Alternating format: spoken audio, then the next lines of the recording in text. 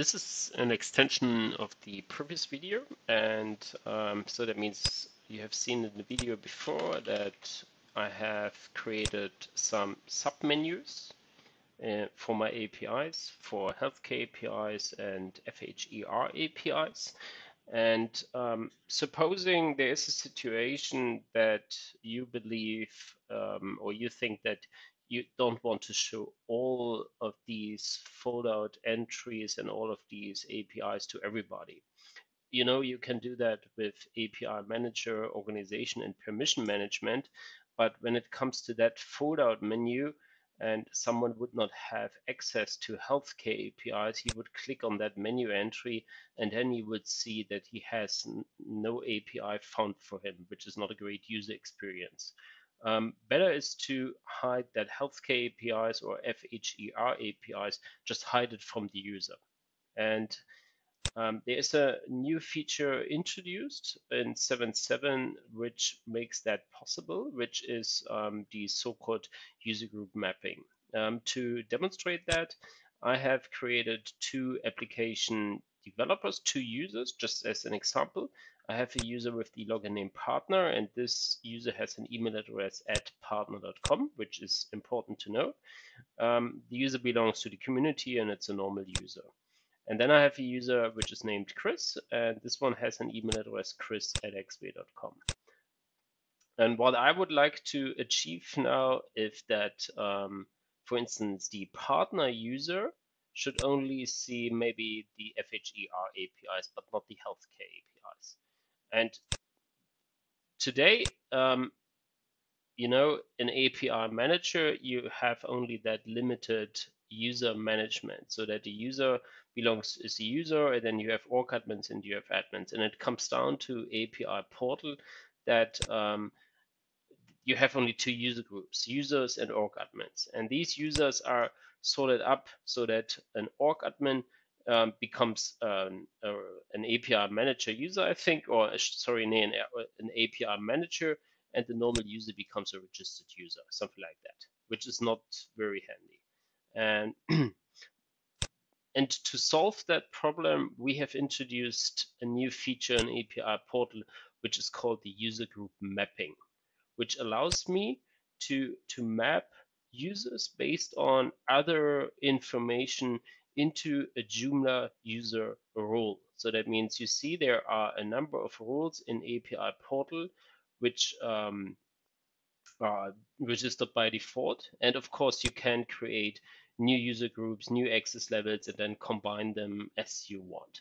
I just stick for that illustration or for that uh, demonstration to say that my partner user or my Chris user should go into that super user group. And you can do that by by adding extra mappings. By default, you see all, all org admins are going into the roles manager and into the role registered, while a normal developer user goes only to registered.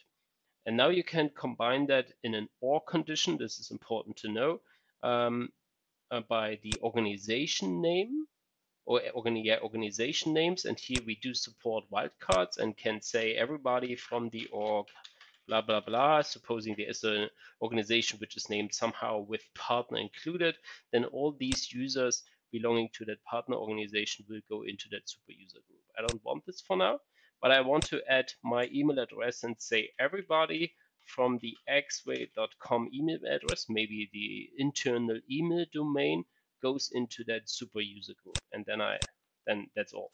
So and now I can save that. And uh, in a convenient way, you see, let's say, an overview there is one email pattern for super users, and then you can extract it. You can also go and search for things to, to have a better overview and see there's an axway.com pattern, and this is mapped into the super users. So that's one thing. And now if I go to the actual users and say I look for the user Chris, search for, then I say that the Chris is actually belonging to to the registered user, to the API manager, and instantly becomes, uh, he got access to the super user group. So that's one thing. And now, of course, I need to control who can see what. And I do that by going into my main menu entry again, as we went to the previous video. And I decide that the FHIR APIs should only be visible to my um, specific user groups. And I do that. Let me check where it was. Um, for super users.